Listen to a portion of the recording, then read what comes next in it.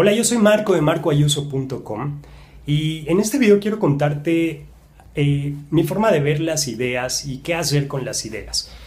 A través de mi trabajo, que es ayudar a las personas a descubrir sus pasiones y a emprender un negocio relacionado o que soporte esas pasiones o soportado por esas pasiones. Tengo la oportunidad de platicar mucho con emprendedores, con chavos y con personas que quieren emprender un negocio y que tienen ideas. La bronca es que muchos de nosotros tenemos muchas ideas. Yo me considero una persona que tiene muchísimas ideas. A mí se me ocurren cualquier cantidad de cosas, eh, de proyectos, de ideas que quiero hacer.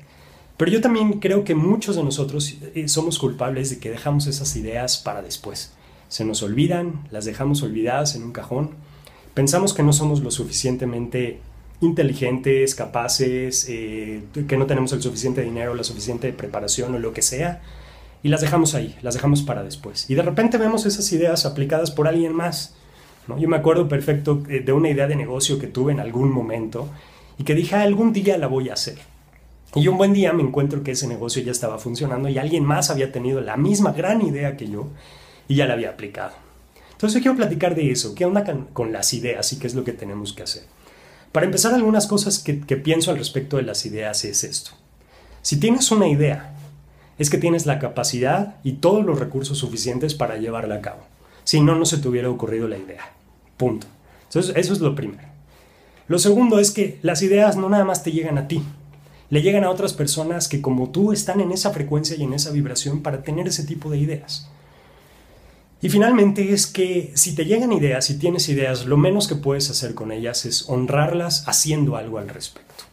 Entonces, la próxima vez que tengas una idea, o si en este momento tienes una idea al respecto de un negocio, algo que quieras hacer, lo que sea, pero tienes una idea, te sugiero que hagas esto. Primero, anótala, para que no se te olvide, ¿no? ¿Cuántos de nosotros, no sé, a mí se me ocurren mucho las ideas, por ejemplo, mientras me estoy bañando, o cuando salgo a correr, o cuando estoy medio dormido, ya sea que me voy quedando dormido o voy despertando. Y es muy común que luego se me olvide cuál era esa idea. Me, acuerdo que era una buena idea, pero no me acuerdo qué idea era.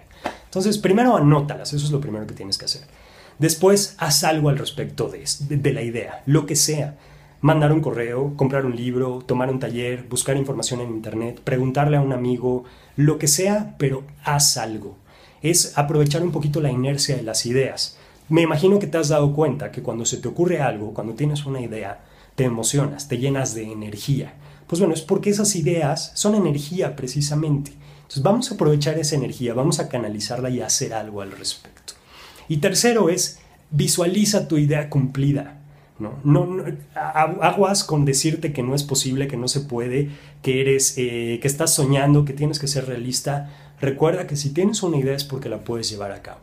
Entonces, dale tu tiempo y dale tu energía soñando. Visualiza ese sueño y esa idea siendo cumplida y cómo sería el cumplirla y todos los días hasta el propósito de al menos hacer algo al respecto de esa idea. Y cuando menos te des cuenta, ya estarás o muy cerca o ya habrás realizado eso que se te ocurrió y habrás honrado ¿no? el que a ti te haya llegado esa idea y verás que tu vida va a cambiar radicalmente y vas a dejar de los que tienen muy buenas vas a dejar de ser de los que tienen muy buenas ideas pero que no hacen nada al respecto. Yo soy Marco de marcoayuso.com Dime qué opinas al respecto de las ideas, qué has hecho con tus ideas, cuál es tu plan para cuando tienes una idea, o cuántas ideas has dejado guardadas para después y después se te olvidan, o simplemente no has hecho nada al respecto. Nos vemos en el próximo video.